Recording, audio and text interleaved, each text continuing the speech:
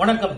வாழ்க்கையில நிறைய கஷ்டங்களை அனுபவிக்கிறோம். கண்டங்கள் தோஷங்கள் எதிர்மறையான பலன்கள் ஏழரை சனி அஷ்டம சனி கண்ட சனி சனி மகாதசை எல்லாம் பண்றோம்.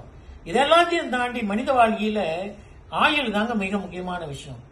ஜோதிடரை பாக்குறோம் அவங்கள பாக்குறோம் யாராவது ஒரு மிரட்சியா சொல்றாங்க ஓ மீனராசியா அவங்களுக்கு ரொம்ப கஷ்டம் கும்பராசியா கஷ்டம். அப்படி இல்லைங்க. இது பரீட்சை தான். இதுல இருந்து கண்டிப்பா நம்ம வெற்றி பெறுவோம் அப்படின்ற ஒரு நம்பிக்கை வேணும். இந்த மாதிரி ஜாதகம் பார்த்த பொழுது மார்க்கண்டேய ரிஷிக்கு மார்க்கண்டேயன்னு ஒருத்தர் இருந்தார் அந்த காலத்துல அவருக்கு பதினாறு வயசுல ஆயுள் முடியுது அப்படின்னு சொன்னாங்க. அவர் என்ன செஞ்சாருன்னா அந்த பதினாறாவது வயசுல யமதர்மராஜன் வரும்பொழுது ஓடி போய் திருக்கடையூர்ல சிவலிங்கத்தை அப்படியே கட்டி பிடிச்சாரு. அதை கட்டி பிடிச்ச உடனே சிவபெருமான் தோன்றி யமனுக்கிட்ட சொல்லி அவருக்கு வந்து இனிமே சிரஞ்சீவிடாவன் அதனால அவனுக்கு ஆயுள் நீண்ட ஆயுள் அப்படின்னு அஹ், மார்க்கண்டேயனுக்கு ஆயுளை நீட்டி கொடுத்துட்டாரு. இது ரொம்ப முக்கியமான விஷயம்.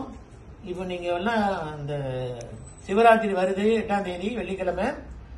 யாருக்கெல்லாம் இந்த மாதிரி சூழ்நிலையில இருக்கிறீங்களோ யாரோ பெரியவங்க வீட்டில் போராடிக்கிட்டு இருக்காங்க மறந்து கோமான கண்டத்தை அனுபவிக்கிறாங்க தீராத நோய் ஒரு லிங்கத்து லிங்கத்தை வாங்கி இல்ல வீட்டில் இருக்கக்கூடிய லிங்கத்தின் அடியில இந்த மாதிரி மிருத்யுஞ்ச எண்ணத்தை வச்சு அதன் அடிப்பாகத்தில் வைத்து இந்த லிங்கத்தை மேலே மேல வைத்து நீங்க வழிபாடு பண்ணலாம்.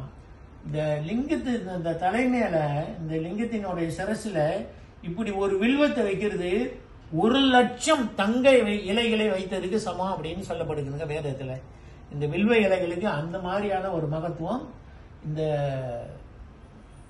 சிவராத்திரிக்கு இந்த இழுப்ப எண்ணெய் வாங்குறவங்களுக்கெல்லாம் அபூர்வாசி நிறுவனத்தில் நானே ஏற்பாடு பண்ணி எல்லார்கிட்டையும் சொல்லி இந்த இலைகளை வந்து இலவசமா கொடுத்துருங்க அப்படின்னு சொல்லியிருக்கேன். ஆனா இந்த லிங்கம் வாங்குறவங்களுக்கு இந்த குஞ்சித நாங்கள் கொடுக்கறதுக்கு ஏற்பாடு பண்ணியிருக்கோம். உங்களுக்கு ஒரு உங்களுடைய வசதி வாய்ப்பு பிராப்தம் எப்படி இருக்கோ அதன்படி நடக்கட்டும். நல்லதே நடக்கட்டும். உங்களுக்கு வெற்றி உண்டாகட்டும். நன்றி.